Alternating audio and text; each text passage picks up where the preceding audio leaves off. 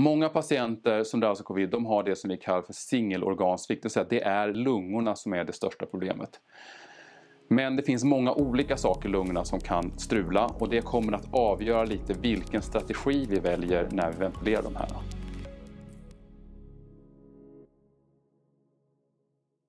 Det finns också flera som drabbas av hjärtproblem, som drabbas av njursvikt. Eh, det finns andra IVA-relaterade sjukdomar. Jag kommer inte gå in i detalj på det nu men, men spektrumet av det som man behandlar liknar egentligen väldigt mycket det man ser vid svåra lunginflammationer i övrigt. Även om just covid-lunginflammationen eller corona-lunginflammationen har lite egenheter. Men går vi tillbaka till grunden så är det så att det är de här patienterna som vi behandlar. Det är så här vi hittar dem.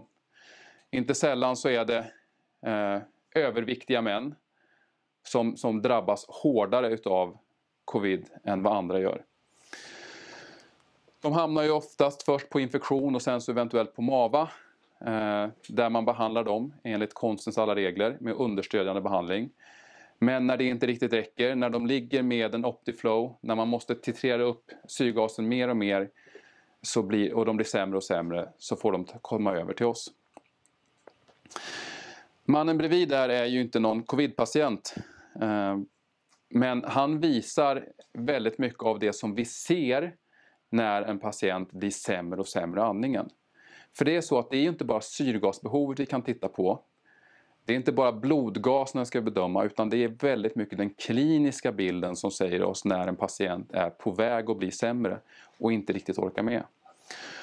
Om ni tittar på den här patienten som har en, en, en svår lungsvikt. Han sitter väldigt framåtlutad. Han fixerar armarna för att kunna ta hjälp av sina accessoriska andningsmuskler. Förmodligen så har han lite svårt att prata. Han är förmodligen väldigt, väldigt andfådd. Och är det så att, att hans andningsvikt fortsätter så märker man på att han, han börjar bli lite snurrig. Han börjar bli lite trött. Så dålig ska man ju inte bli innan man hamnar hos oss. Så att man blir snurrig och, och uppenbart håller på att krascha. Utan vi vill ju gärna ta de här innan de blir så dåliga. Men genom att titta på vilken andningsfrekvens har patienten, vilket djup har patienten när den andas. Går det väldigt snabbt och det är väldigt djupa andetag, då är det ett tecken på att det här kommer att, gå dåligt. Eh, den här patienten kommer inte orka så länge.